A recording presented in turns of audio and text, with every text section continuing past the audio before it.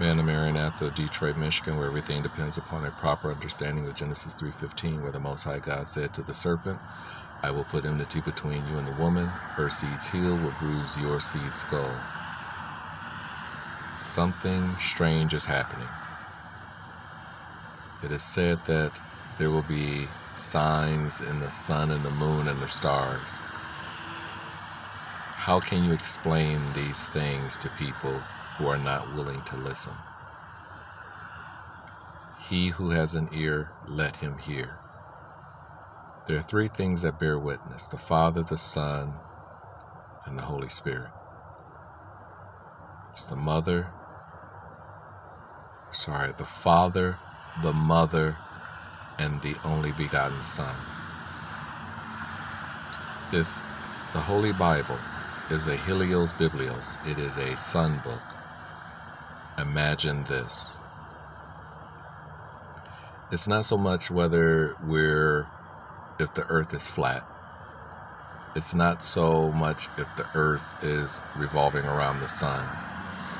But it really depends upon how you look at this.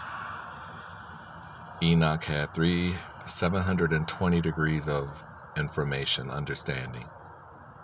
A square is 360 degrees. A circle is 360 degrees. You add those two together, 720. It's mathematics. It's squaring the circle or circling the square. It all depends upon how you look at it.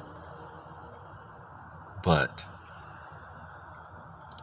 it appears that this Helios Biblios, this sun book, this astrological book has been anthropomorphized. The S-U-N has been the S-O-N. The M-O-O-N has been feminized to be wisdom, the mother.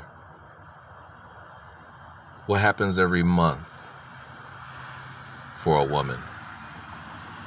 What happens every month to the moon? They have a connection. The moon is feminine, it's the mother. However, depending upon how you look at it, this object that goes in front of the moon throughout the month, it is a it appears to be a spherical planet, but it's really a square. But whatever this planet is, it goes in front of the moon. But we can't see it.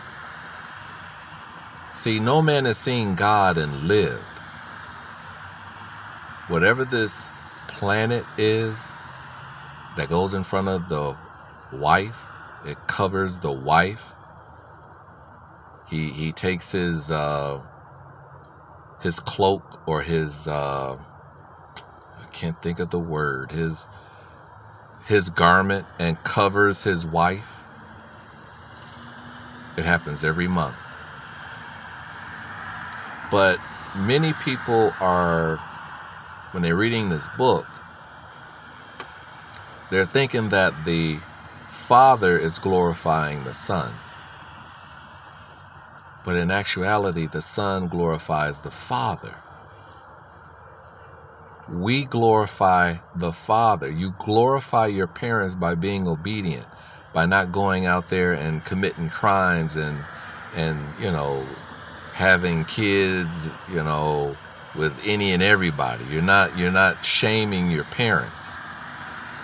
Well, the heavenly parents, the moon and the father, the one that's covering the moon right now, that's our parents. But the S U N is the S O N. It just has been anthropomorphized. It's, it's like Humpty Dumpty had a fall, or Humpty Dumpty sat on a wall, Humpty Dumpty had a great fall. Okay, can an egg sit on a on a wall?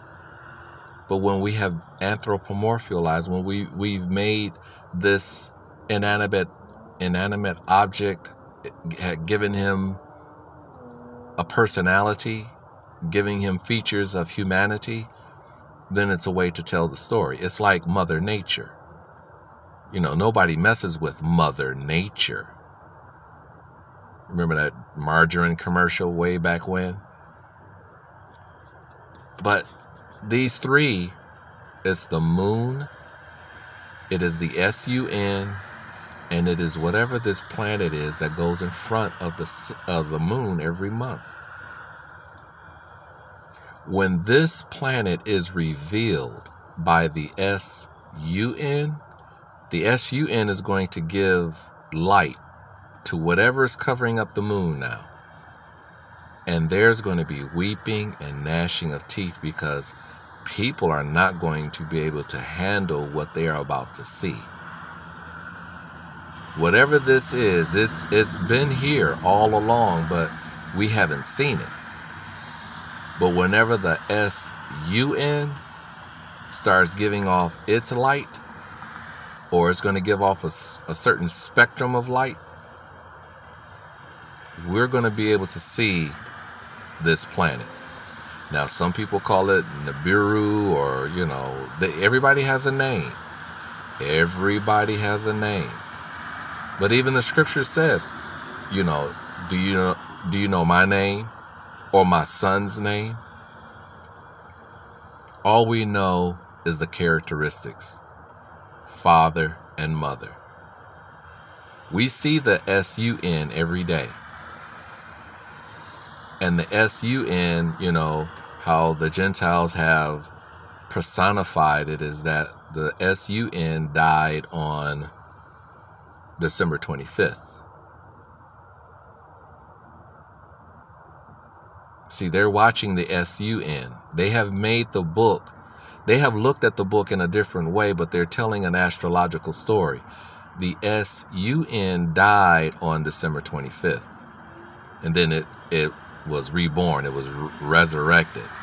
So even when the Egyptians, when they do Horus, Ra, and Set, and all of that, they're doing an astrological story. Same same principle, but different names. With Mithra, uh, the religion of Mithra, you know, if you looked at Mithra, Mithraism, it really is Christianity before Christianity. They had a pope, they had a Eucharist, they had confession, they had it all. Catholicism isn't new. There's nothing new under the sun. But what is about to happen, this event is going to be so mind boggling. And, and, and the thing is, it's not, it's not the event. This is the, this is the coming, the, the glory of God. We're, we haven't even seen God yet, but the glory, that's what we're about to witness. So, you know, if this is credible information, then, you know, how do we look at the book? And I think we look at the book in this fashion. We should consider it in, in this fashion. Know that there's a, a calamity coming. Understand that. It's a calamity coming. It is what it is. Prepare yourself like Joseph. Get some food together for you and whoever you can, your family.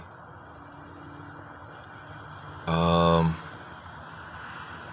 you know, I, this vaccination shot, you know, that's really, that's on you. All I know is when this book has said, don't take this mark so that no man can buy or sell. And now they're trying to say you can't come into a restaurant if you don't can't prove that you have the shot. Well, you know, it is what it is. And it looks like you can't see this uh, moon. You know, I can see it real well. But tomorrow, tomorrow night, if you have a clear sky, go out and you look at the moon and and just change your paradigm a bit and and look at it as though there's a circular planet going in front of the moon. And I think this planet is really square, but it's, it's dependent. It's we see it. We see the curvature of the planet because of our eyes. Our eyes have uh, has given it a spherical form. So you know, the eyes are the windows to the soul. You know, so get your food together because it's going to be a little shakeup. If you can't get the food together, get your oil together, get prayed up. And maybe you can fast for 40 days. Yeshua did, so can you. I'm not here trying to debunk the historicity of Yeshua. I'm not trying to debunk anything. I am trying to make sense of it, being a watcher. If you see what I see, if you can consider what I'm saying, bring an offering, bring something to the table. This Bible is dealing with clues, it's information. Yeshua himself said he, he speaks in parables because, you know, this information isn't meant for everybody. But if you are part of the few, bring something to the table. And what I mean by that is bring some information. Let's let's put this thing together so that we can get through it.